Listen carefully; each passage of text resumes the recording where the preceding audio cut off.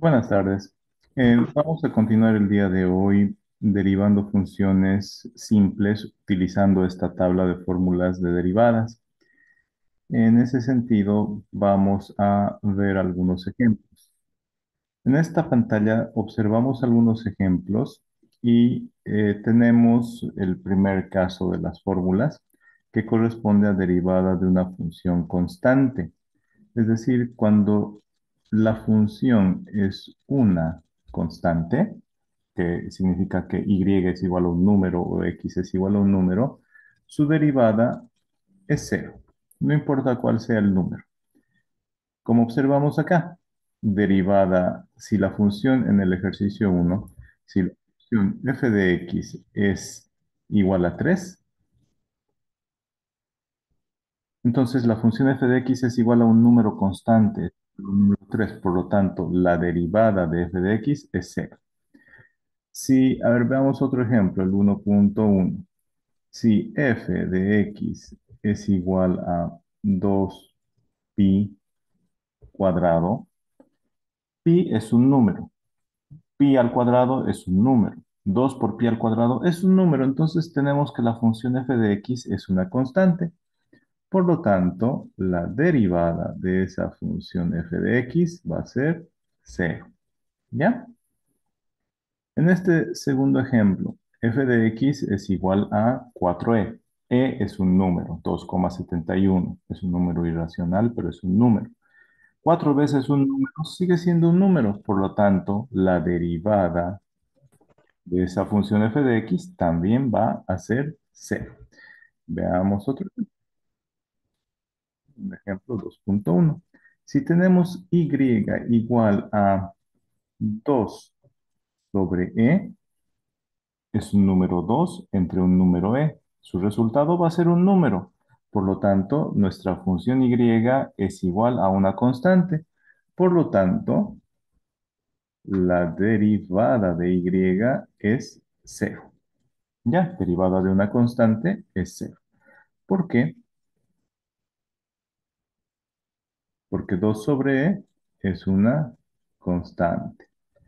2pi al cuadrado es una constante y derivada de una constante siempre es 0, 0. ¿Ya? En el tercer ejemplo, la función f de x es igual a x. Ah, acá ya la función no es una constante. Acá la función es igual a y. Tenemos el caso de la función identidad. La función identidad dice y es idéntica a x. Por eso esta función se conoce como función identidad. El valor de y es idéntico al valor de x. La derivada de la función identidad es exactamente 1. Miren, si tenemos y igual a x, entonces y' o la derivada de y va a ser 1. Ahí está. Y lo que tenemos acá, ¿no es cierto? Si f de x es igual a x, f' de x o derivada de la función f de x también es 1. Ahora, en el siguiente ejemplo, observen, tenemos la función f de x es igual a 8 por x, es decir, un número por x. Ahí ya tenemos que recordar la primera tabla que hemos observado de propiedades básicas de las derivadas, que dice derivada de una constante por una función es, a ver, si f de x es igual a una constante por una función de x, para no confundirnos, voy a colocar acá en lugar de f de x, voy a colocar y. Pero ahí me entienden que hablamos de la función. Si la función a derivar es una constante multiplicada por f de x, acá tenemos 8, que es una constante, y tenemos a x, que es una función de x. En este caso es una función identidad. 8 por función identidad. Entonces la derivada va a ser la constante por la derivada de la función. Entonces ahí aplicando la propiedad esta que les acabo de escribir, esta propiedad, Si la función es igual a un número constante multiplicado por una función, la derivada va a ser la constante multiplicada por la derivada de la función. Entonces, miren, voy a hacerlo otra vez. Y es 8 por x. La derivada va a ser 8 por derivada de x. Y la derivada de x es, ¿cuánto es, jóvenes? ¿Quién me dice? La derivada de x es 1. Por lo tanto, la derivada de la función y es 8 por 1, 8 nada más. ¿Ya? Espero que se haya entendido y si no se entendió, vamos a hacer un último ejemplo de este caso. Lo voy a hacer acá. Si tenemos nuestra función f de x ', a 3 pi por x, entonces mi derivada de esta función f' de x es igual a 3pi, porque es la constante, por derivada de x. Y derivada, miren, derivada de x, derivada de x, que es la función identidad, que aparece acá, ¿no? Si la función f de x es la función identidad, su derivada es simplemente 1. Acá tenemos una constante por la función identidad. Entonces la derivada va a ser la constante por la derivada de la función. En este caso, la función identidad.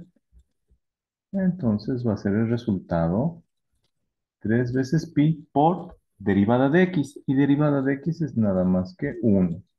Por lo tanto, la derivada es 3pi. Para terminar, para terminar, a, a manera de corolario, como hacen en las fábulas a manera de... ¿Qué sacamos de las fábulas? La lección.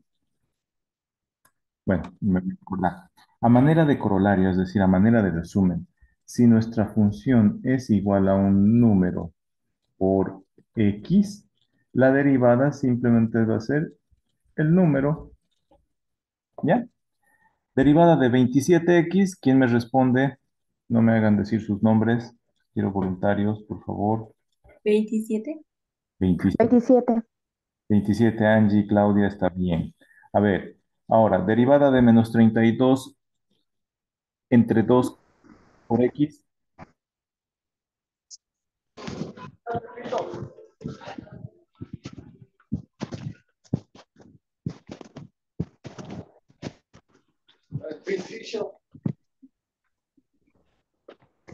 Así. Derivada de menos... ¿Puede volver a repetir? Sí. Derivada de menos 32 entre 2 por x, ¿cuánto es? Sí. Menos 32 entre 2. Ya. menos 32 sobre 2. Exacto. ¿Qué decía Luis?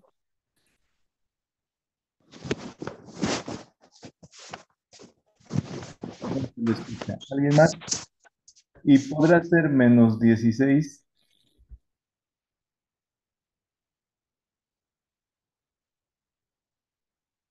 ¿O no? Angie, usted respondió, ¿no? Menos 32 entre 2. ¿Podrá ser menos 16? Sí, Yo creo que sí. Sí, ¿verdad? Entonces, si es que pueden simplificar, lo simplifican. Y ese es el resultado. ¿Está entendido este tipo de derivadas? Sí. Ya. Acá hemos visto dos. Dos. La función identidad, cuando la función es f de x igual a una constante, su derivada, ¿cuánto es? Díganme ahorita.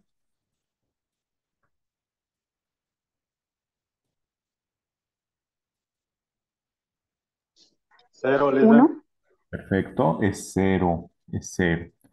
Si la función f de x es simplemente x, ¿cuánto es su derivada?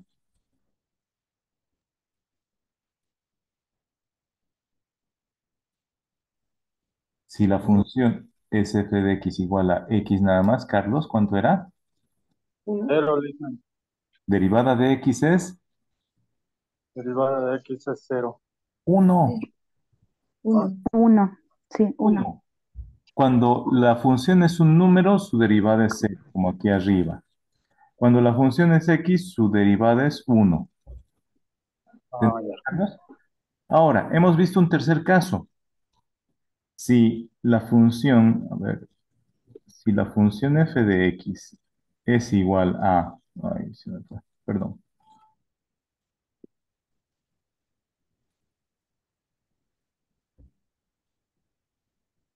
Ya, si la función f de x es igual a un número por x, ¿cuánto es su derivada?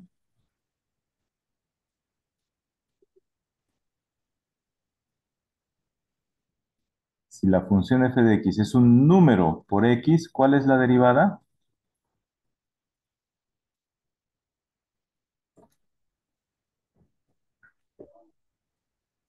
¿Quién es el valiente? Si la función es ¿El un... mismo número? El número nada más. Perfecto. Bueno, fue punto para las chicas. Hemos visto esos tres casos, ¿correcto? Muy bien. Entonces ahí vamos a pausar este video y enseguida vamos a hacer más ejemplos. Lo que voy a hacer ahora es darles